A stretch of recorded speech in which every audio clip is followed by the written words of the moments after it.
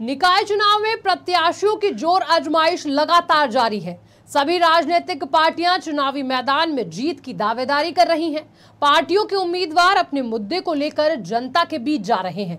राजधानी में पहले चरण का मतदान 4 मई को होना है। इस चुनाव को लेकर हमारे संवाददाता पंकज तिवारी ने कॉलविन निषादगंज के वार्ड नंबर उनसठ के बीजेपी पार्षद के प्रत्याशी प्रमोद सिंह राजन से खास बातचीत की। क्या कुछ कहा? आइए सुनते हैं।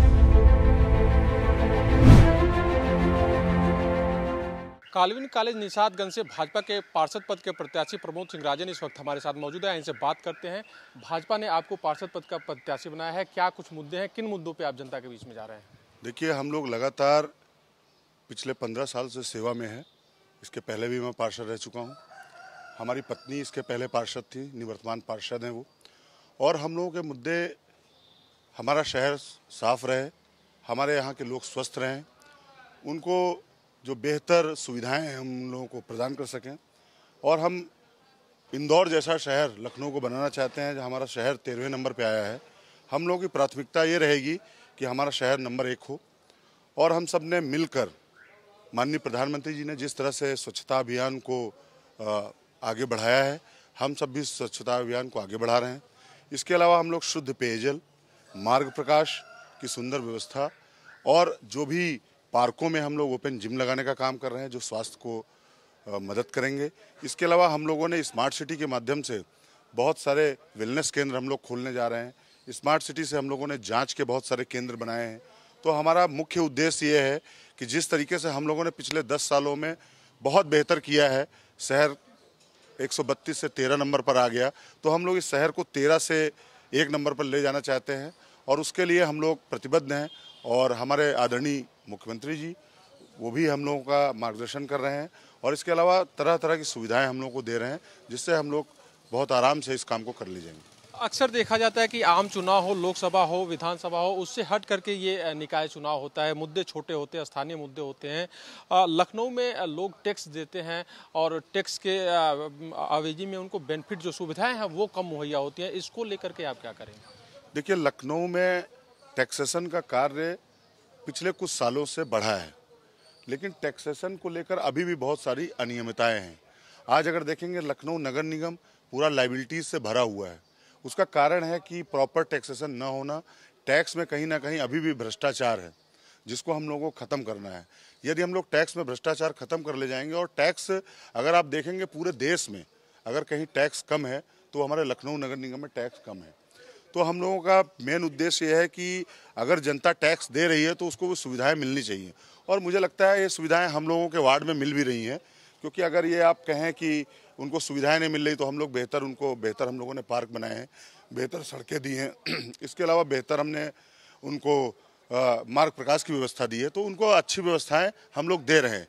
लेकिन जैसा कि प्रधानमंत्री जी का सपना है कि हमको इसको स्मार्ट सिटी बनाना है।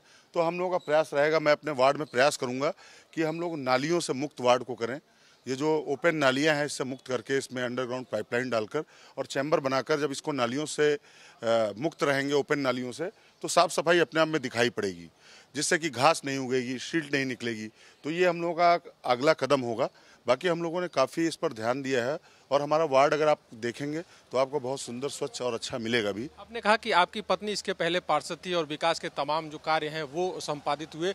तो आप क्या कुछ लेकर आ रहे हैं? उनके बाद आप क्या कुछ नया करने वाले देखिए हम लोगों का हम लोगों ने बहुत मैक्सिमम कार्य कर लिए हैं। हम लोग जल निकासी की व्यवस्था जो ओपन नालियाँ हैं हमारा कहना है प्रधानमंत्री जी कहते हैं कि हम स्मार्ट सिटी बनाएँगे। तो स्मार्ट सिटी कैसे बनाएँगे? जब आप घर से बाहर निकलेंगे और बाहर ओपन नालियाँ होंगी और उस पर घास निकल आती है, हमारा श्रमिक दिन भर उसमें ही काम करता है तो हम कुछ ऐसी व्यवस्था लागू करेंगे कि उसमें इनक्लोजमेंट भी ना हो और व्यवस्था को हम लोग इस प्रकार दें कि नालियाँ जो हैं, हमारी कवर्ड नालियाँ हों, जिससे कि उसमें घास ना निकल पाए। इसके अलावा हम लोग पार्कों को हमने डेवलप किया है, हम हर पार्क में ओपन जिम लगाना चाहेंगे। हमने प्रयास किया है कि जो बड़े नाले हैं हमारे उन बड़े नालों में अगर कहीं इंक्लोजमेंट है उन इंक्लोजमेंट को हटाएँगे और सड़कों का चौड़ीकरण करेंगे।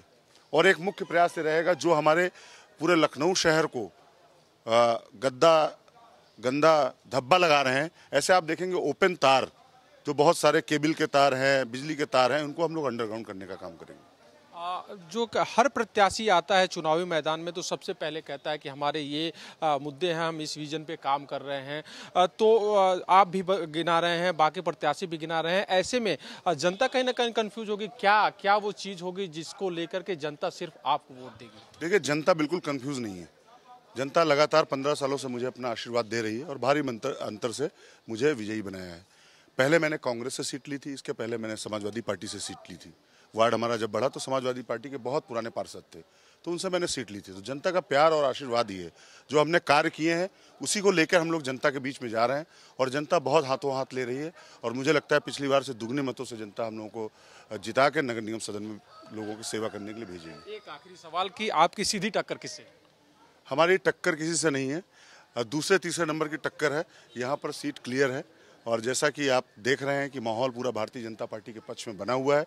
आदरणीय प्रधानमंत्री, आदरणीय मुख्यमंत्री जी का जो मार्गदर्शन है, पूरी जनता तो उन पे ही वो है। कोई चेहरा ही नहीं कोई फेस ही नहीं बहुत बहुत धन्यवाद। तो ये थे बीजेपी के पार्षद प्रत्याशी, जिनका कहना था कि जनता का आशीर्वाद लगातार मिलता रहा है और इस बार भी जनता का आशीर्वाद इन्हीं को मिलेगा।